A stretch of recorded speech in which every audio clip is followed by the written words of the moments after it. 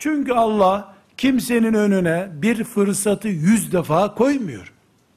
Enes İbni Nadr'ın önüne fırsat bir defa çıktı. Bir kere çıktı ama onu tam değerlendirdi. Yahu saat harika fırsat dedi be. Harika fırsat koştu. Bunu bir bakalım öbürünü deneriz. İstepmesi yok fırsatların. Fırsat adı üstünde fırsat zaten. Her gün gelen şey fırsat olmaz ki. Bir defa geldiği için fırsat olur.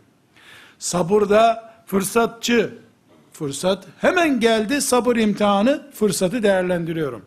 Artı eğitimde Allah sözümüzü görmek istiyor, karşımıza fırsat çıkardı, hemen değerlendireceğiz. Fedakarlıklarımızda, uygulamamızda. Artı biz bilhassa siyasette, eğitimde ve sosyal işlerde Müslümanların karşısına çıkıp dağ gibi sorumluluk alanlar en azından senede bir defa hacca gitmek yerine teheccüd namazına kalkıp ümmeti Muhammed'in insanlarına ne söz verdim ne durumdayım diye düşünmelidirler. Seçimden seçime insanlara tapınıyorsan düşünürsün.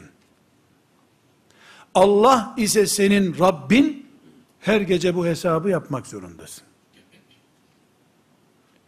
Dernek seçimi de böyle, büyük siyaset seçimi de böyle. Biz ümmeti Muhammediz. Dünya için yokuz. Dünya bizim için var diye iman ediyoruz.